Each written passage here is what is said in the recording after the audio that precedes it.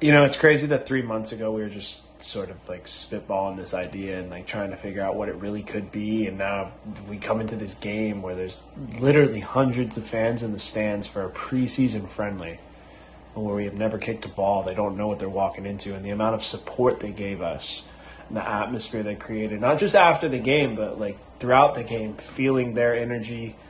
It, it drives us. I mean, it, it had me feeling a momentum shift come our way. I mean, they, we felt that support like truly throughout that game, and when that penalty save went in, the roar that came from the crowd, it's like, okay, we're in this. We have a we have a crowd of people behind us backing us. How can, how can we not keep going? I mean, the atmosphere they created was special, and it's only our first preseason game, and I can't wait for what's to come.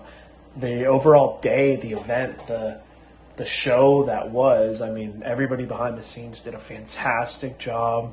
Um, this again, the support from the sponsors has been great, but again, above all else, the supporters, and the numbers in which they turned out, and their voices. I mean, so grateful on my end as a coach, and I know the players felt the same way throughout. I mean, after the game, everybody's just grinning, even to come out of a defeat where you see things we need to work on. How can you not feel pride for what we're building in this community? So, thank you, truly, thank you.